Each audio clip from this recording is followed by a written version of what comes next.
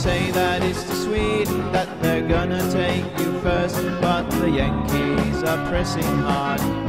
For revenge is what they thirst.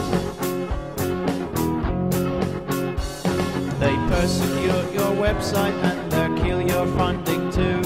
There simply isn't anything they'd hesitate to do. They've used bullets, napalm bombers to get rid of who they hate, they're willing to use all these things to seal up your fate. You're listening to Clearing the Fog, speaking truth to expose the forces of greed with Margaret Flowers.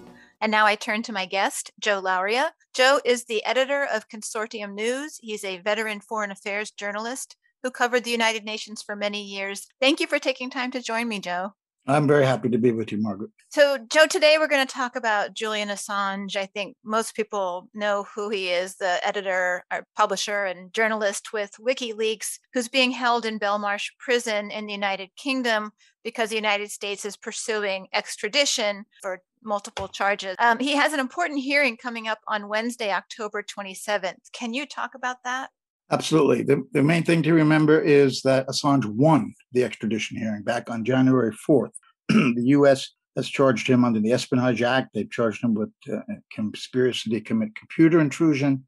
And uh, the hearing started in January, February of 2019, 2020 rather, and it was postponed because of the pandemic. It picked up in September, and the ruling came down on January 4th this year. And she ruled, the judge Vanessa Baraitser, that Assange could not be extradited to the United States, not on because any of the charges that the U.S. were leveling against him were wrong or unfounded, but simply on health reasons. She ruled that Assange was suicidal, that he was at a very high risk of suicide if he were to be extradited to a United States supermax prison, which was part of her reason as well. The conditions of U.S. prisons were troubling enough to her that she didn't think it was right to send Assange to the United States to be held uh, inside Alexandria in order to be tried there at the Eastern District of Virginia.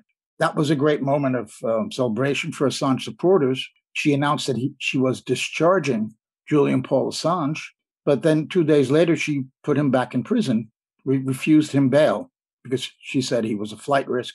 He, of course, had gone into the Ecuadorian embassy in 20 11 or 2012 in order to escape extradition to Sweden because of fears that he would be sent on to the US. And that was what borne out when the US unveiled their indictment of him. So he's now still in Belmarsh prison. It's a, it's a very high security prison in London, and he is in there with some hardened criminals. He's simply on remand right now. He's not been convicted of any crime. He was initially there for skipping bail when he went into the embassy, but that has been served. He's there on remand. And of course, Assange's uh, supporters were uh, happy that he won that decision on January 4th not to be extradited, but the U.S. appealed. Uh, they filed an application for appeal with the High Court in London in January, and it took till July of this year, 2021, in order for uh, the High Court to grant the appeal to the United States.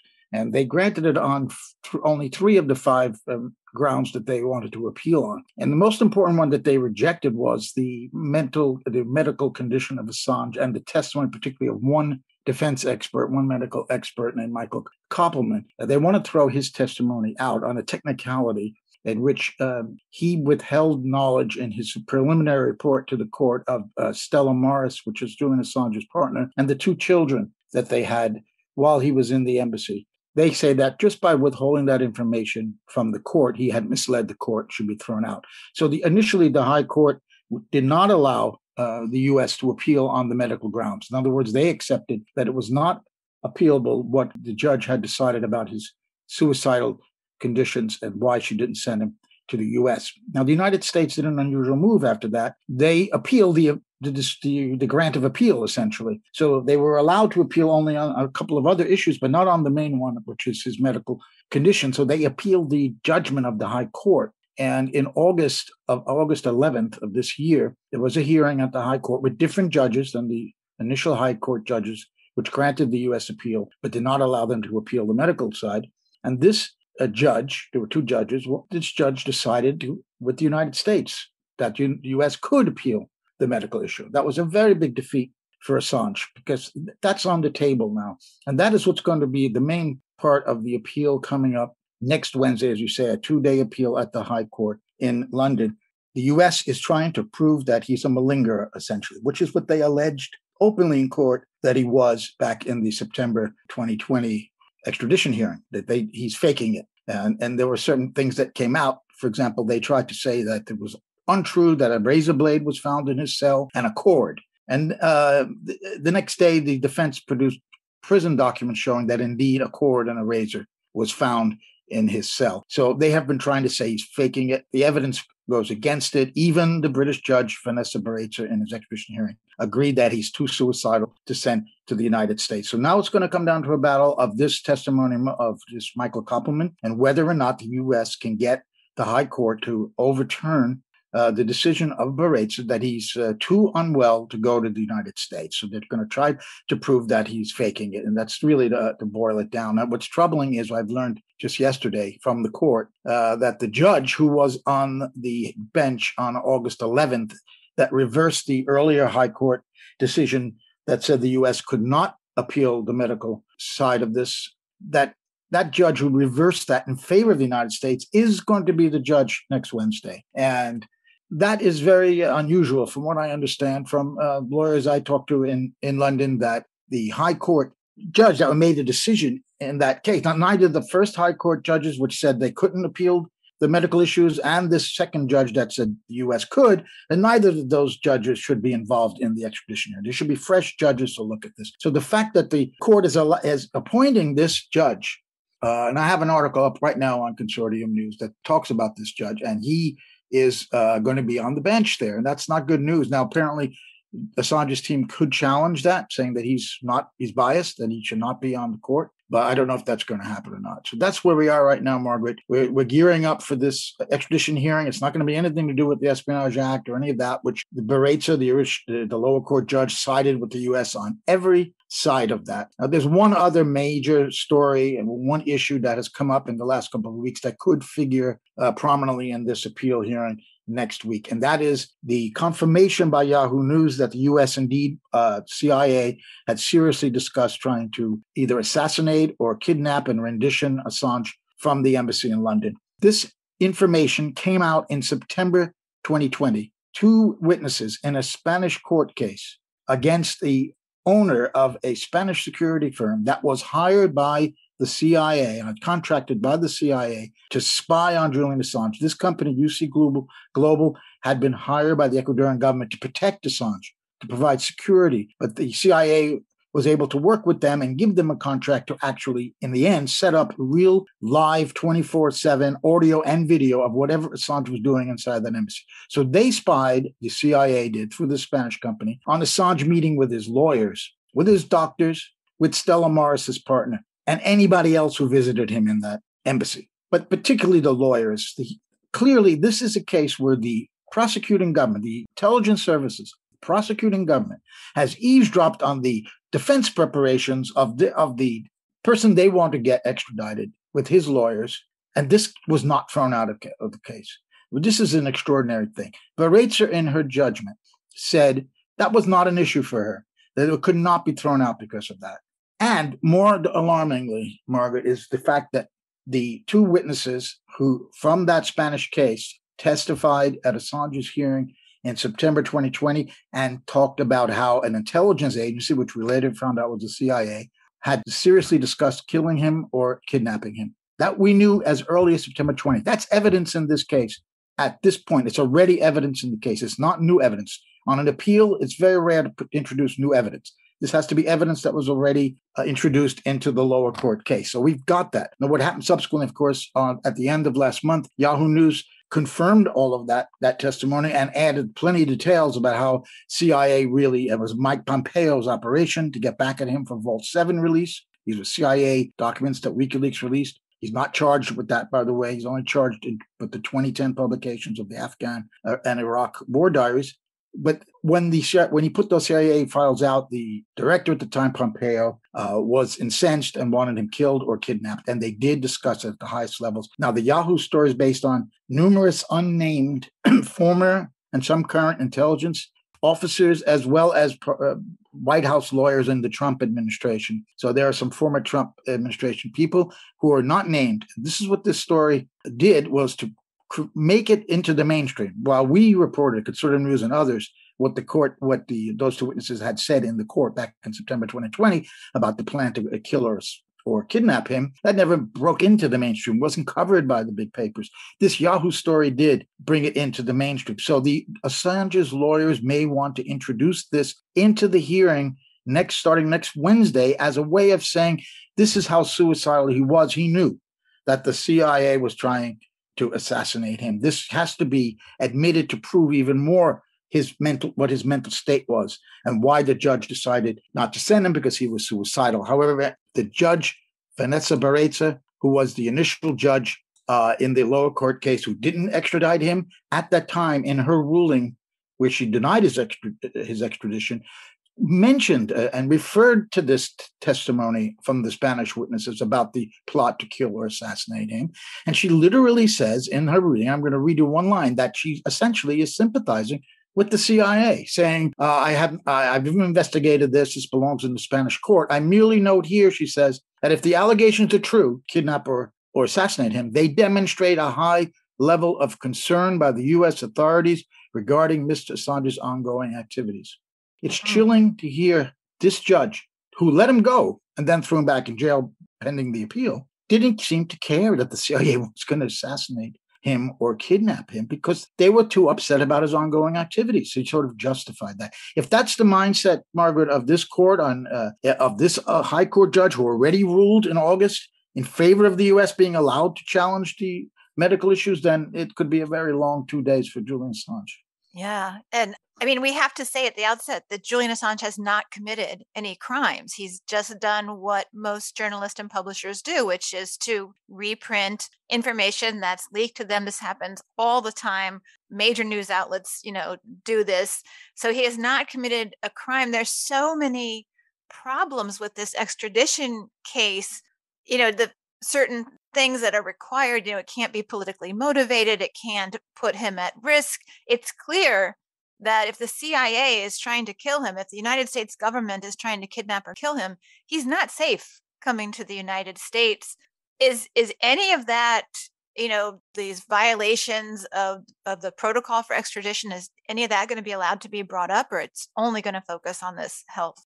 No, well, I'm sure that his lawyers, Assange's lawyers, will try to introduce this new evidence from Yahoo. And as you're absolutely right, uh, it seems like if Great Britain was dealing with any other country but the United States right now, and the person that that country wanted extradited from Britain, uh, could it was proven that their intelligence service wanted to, at one point wanted to murder this person. There's no way Britain would send uh, the, the, requested person to the requesting country. There's just no way. But this is the United States. This is the U.S. And we know about the relationship between Britain and the U.S. It's very close, and it's very one sided in favor of the US. So this is really troubling. They are going to try to argue that. Yes, how could you send Julian Assange back to Britain when we know that their intelligence services uh, at one point seriously considered assassinating him in the heart of London at the Ecuadorian embassy, steps from Harrods department store on the sovereign territory of another nation, Ecuador? They've considered seriously doing that and uh, you're going to send him back to that country. So they could, the judge could say, well, this is newspaper gossip. This is not confirmed. There's no name sources. We don't know. Even though that testimony is already in the case from the Spanish witnesses a year ago. And we got just a lot more details from Yahoo now. So, and you're absolutely right to point out he's, uh, well, from our study of the indictment, he didn't commit a crime. He's been accused of committing espionage and computer intrusion, uh, conspiracy. But we've detailed this in numerous articles. And he is not guilty, of course, right now of any charge. He is charged, and he what he did was what he did was reveal crimes of immense magnitude by the United States and other governments and corruption. And this is why he's wanted, man, because you don't stand up to the United States and reveal what they're doing, what the mainstream media should be doing if they were doing their jobs, but aren't providing cover for U.S. aggression abroad, explaining it away as spreading democracy, and all of the other myths that um, so many Americans believe because it's been drummed into us since we were very young about the greatness of the United States, its special character, its exceptionalism, and that it's the indispensable nation. And behind the cover of all of that rubbish that the mainstream media pounds into Americans day after day, the US goes around the world pursuing its economic and geopolitical interests and having to sometimes eliminate huge numbers of people in doing that, taking down governments that won't obey, that won't comply, just from the power point of view and from economic interests and geopolitical interests. They have committed enormous crimes since the end of the Second World War, from Vietnam to Iraq and so many other places in between. And the mainstream media either cheerleaded for those wars or cover up what we find out later. And only reluctantly, like the New York Times apologized a year after saying, realizing there were no WMD in Iraq, that they did a poor job. But did anybody at the New York Times or the Washington Post editorial page lose their jobs? No. So they continue to provide cover for, for the establishment, for the intelligence services, for aggressive policies abroad. Julian Assange revealed those and didn't do it through uh, getting unnamed sources, but got the actual documents that were sent to him. He never stole them directly. That's what they'd have to prove. Joe Biden, when he was vice president in 2010, in December, went on Meet the Press and he was asked, Are you going to charge Julian Assange? And he said, If we could prove that he went in there and stole it himself, then we have a case. But if he was just handed these documents, we can't do it. That's essentially what Biden said. And that's where they still are today. They cannot prove that. In other words, the Espionage Act of uh, uh, obtaining and disseminating defense information or classified information is technically yes, it's in the in the Espionage Act. It could apply to anybody, even a journalist. Shouldn't be in there. It clearly conflicts with the First Amendment. It needs someday to be challenged in the Supreme Court. But no one, no president ever charged a journalist for publishing uh, on, under the Espionage Act until Donald Trump, because even the Obama administration refused to do it back in 2011. They were trying to get him only on the fact did he steal government property, or was it handed to him by a source who stole it? Who happened to be Chelsea Manning, an, an, an army intelligence analyst in Iraq who had illegal access to all of these documents. So there was no need to hack them. Assange did not help hack them. Then they tried to build a case of a, in a sting operation in the, in Iceland, where they took this guy who's been a, uh, jailed for pedophilia and he's a fraudster. And he went to the embassy in Reykjavik and turned himself in and said, listen, give me immunity and I'll help you. So he participated as an informant against Assange. But even then, that was in the Obama administration. They were unable to get enough evidence then to bring that computer intrusion or theft of government property, or that he was even a hacker. And that's what they tried to get him in a sting to prove that Assange was directing hacking and participating in hacking rather than just receiving hacked documents. Someone else committed the crime to get them, but the journalist just received the material and has every right under the First Amendment, as every as you point out, everyday journalists do that, publish classified information. That failed. They brought this guy back. His name is Sigurdur Thordarson, and he uh, went. The Trump administration brought him back again in 2019. They brought him to New York and to Washington. They talked to him, and he supposedly gave this information that Assange uh, hack or was directing hacking. That was in the indictment of Assange right now. But as you might know, in June of this year, the uh, Stundin, a, a Icelandic newspaper, interviewed this guy Sigurdur Thordarson, who admitted everything he told the FBI was a lie, that he uh, recanted everything. So that part of their case has collapsed. They don't have a case to prove that he's a hacker, that he stole government goods. They can say that, yes, he disseminated classified information. But again, nobody has ever, no president has ever done this until Trump. It's a very weak case they have. And they're desperate to keep him and to get him. And they want to get him by saying that he's a malingerer now, that he's not really suicidal. He's not really that ill. This is what it's come to for the US. But you can't feel confident about this British judge in particular, or the court in general, given what I said about Baraitser, her reaction to at that time learning that there, were, there was a plot to assassinate or kill him. She basically said, well, the Americans were upset by his ongoing activities. It's understandable that they would want to kill him. This is what we're dealing with here. It's very, very troubling. Well, it's, and it's very dangerous. I mean, for press freedom in general. So, the appeal was filed. You know, the you know the Vanessa Baraitser's decision in January of this year. The United States filed an appeal.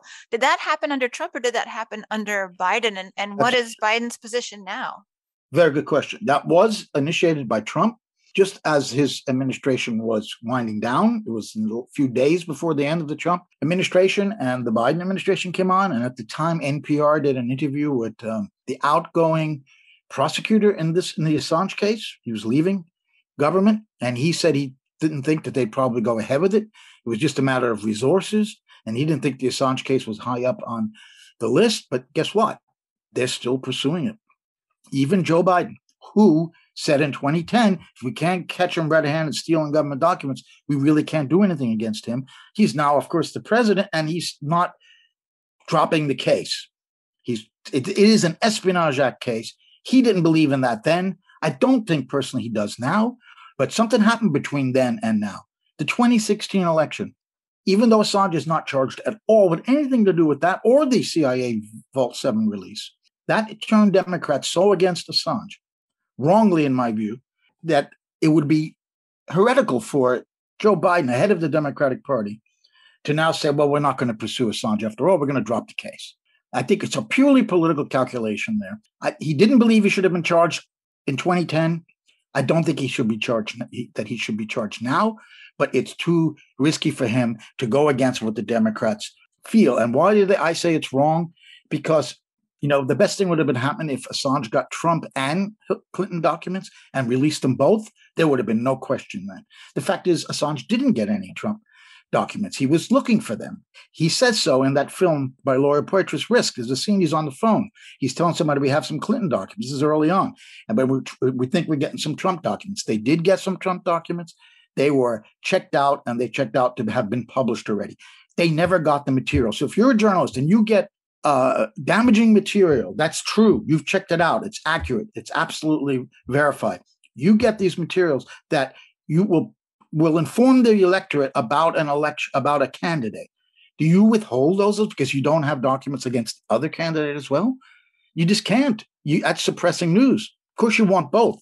Both candidates were horrible. So you wanted to get dirt on Trump. There was a lot of dirt that did come out on Trump anyway, but not from WikiLeaks.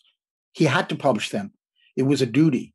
The other issue is this was not the the theory is that the Russians stole these documents, the, DNC and Podesta emails, gave them to WikiLeaks, and WikiLeaks wanted to damage uh, Hillary Clinton, wanted Trump to win. There's nothing further from the truth. If you hear Assange speak, he disliked both candidates equally. He said it was a choice between gonorrhea and cholera, something like this. So he didn't have Trump documents. Now, I argue that even if Russia, and I don't think there's been proven that all that Russia, it's, it's in the indictment by Mueller that the GRU RU agents stole the documents and under the persona of Guccifer 2.0 gave them to Assange. We don't know who Guccifer 2.0 is.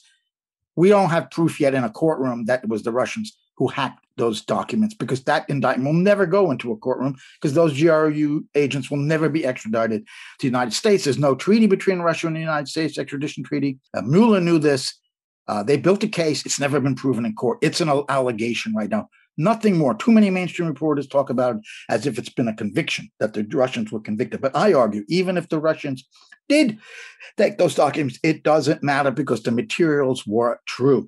And they've proven true when Debbie Wasserman Schultz and other high DNC officials resigned right after the WikiLeaks first published these emails. It exposed Hillary Clinton giving those speeches to Goldman Sachs, exposed her for the callous politician that she is. And this is her fault.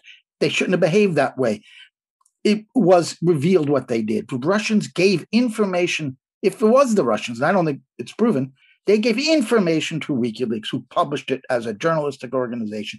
They didn't give disinformation to them to sabotage an American election. This is the way it's portrayed that the Russians sabotaged Hillary Clinton's election because they gave disinformation. They poured disinformation. They did not. It was all true. It was published. Any news organization has an anonymous Dropbox that was pioneered by WikiLeaks. Today, they get stuff sent to them, documents. They don't know who it is. You don't have to know who the source is when you're getting documents because you could check out whether documents are correct or not. If you're doing an oral interview with someone as a reporter, yes, you need to know the motive of that person because you have to know whether to believe their word or not. But if somebody gives you documents, it doesn't matter who the hell gave them to you if they're true. Russians could put uh, stolen American documents into CNN's Dropbox and CNN doesn't know who gave it to them. They'll check it out. It's true. It's newsworthy. They publish it. Were they used by the Russians? No, it doesn't matter. It doesn't matter if the if the documents are true. And this is what happened in 2016. But Democrats persist in blaming Assange, blaming everybody under the sun except Hillary Clinton herself for losing that election to a con man And this is what happened, but they're blaming Assange. So I don't think Biden will drop the appeal based on that. This is all my interpretation, my analysis. Of course, I don't know what's going on in Biden's head, but uh, and hopefully he will do still do the right thing. There's still a week left to drop this damn case. Right. And so and I actually you have a piece I should mention in Consortium News what the Yahoo Assange report got wrong, which talks about a lot of how they perpetuate these myths around the whole Russiagate uh, ordeal. So Congress is supposed to be looking into this report that the CIA was planning to kidnap and assassinate Assange. Do you know what the status of that is?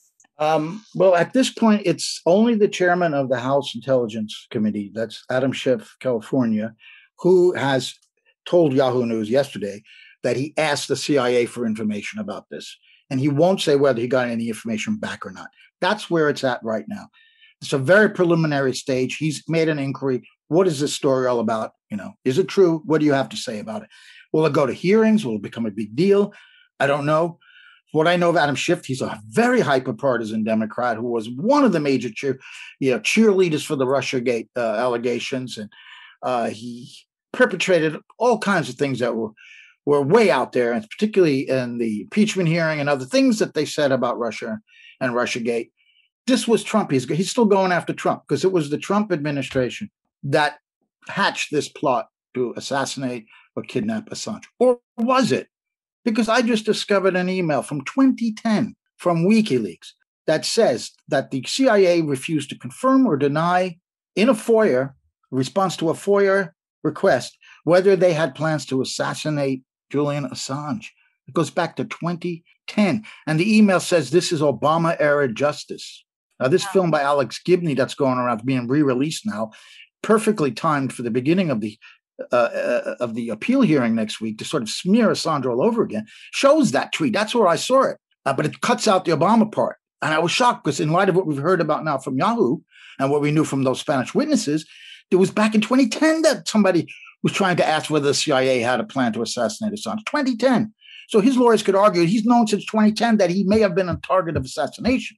That that's how long he's been nervous about this. That the weigh on his mental state and why we can't send him to that country. And that tweet I found the original one, and it's quite extraordinary to know how long this has been going on. That was Obama era. But of course, I'm saying if Schiff works at all on this, since he's now the, uh, the, chairman, because the Democrats have the majority of the intelligence House Intelligence Committee, he could push it because he wants to embarrass Trump, and I don't care. That's I don't care the motive, as long as he, they, we get some information about whether this really happened. And I suspect it won't go very far because, as you know, Margaret, the House and Senate Intelligence Committee's oversight have pretty much become rubber stamps since the days it was created in 1975 after the Church Committee uh, hearings and the Pike Committee and the Rockefeller Commission, all the dirt that we learned about intelligence agencies from the end of the Second World War. So these uh, oversight committees were created then to try to stop abuses like trying to assassinate a journalist in a foreign embassy. Uh, so I don't know how far they'll go with it, but that's where it is now. But I'm not uh, really that hopeful that we'll learn more, but we could.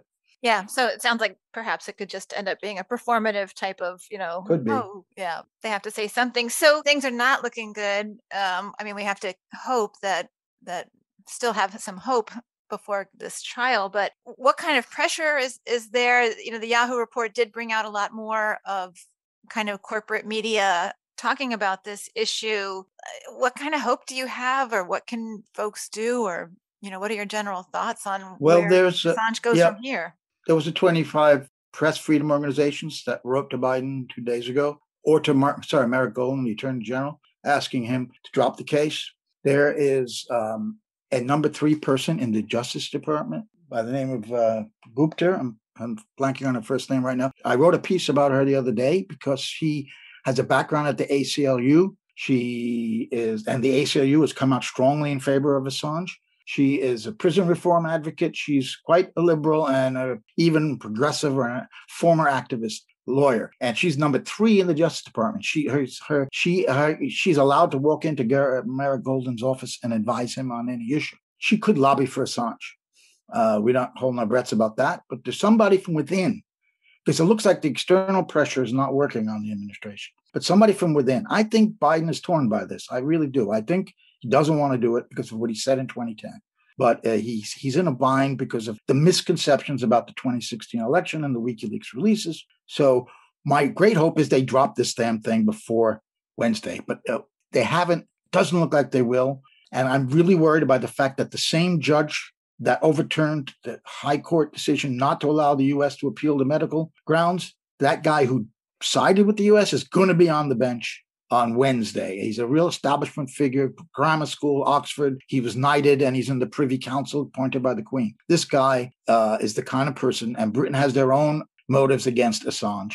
We know from the former Foreign Secretary who wrote a book, Alan Duncan, who said, uh, who described the day Assange was arrested from the embassy and what the celebrations that were going on inside the Foreign Office. So, and the MI5 and MI6, they all despise Assange because he threatens the good game they got going that's based on corruption, lies, and even war and massacres and war crimes. And that's what the establishment rests on. Not everyone in it, of course, but they'll do that if necessary to stay in power. And you don't want some journalist, some Australian longhand Australian coming along and blowing it for them because we got the rest of the media pretty much under control. They they're too afraid for their jobs. They want to kiss our asses to get access. We're okay with the mainstream press, and we can pretend we have a free media.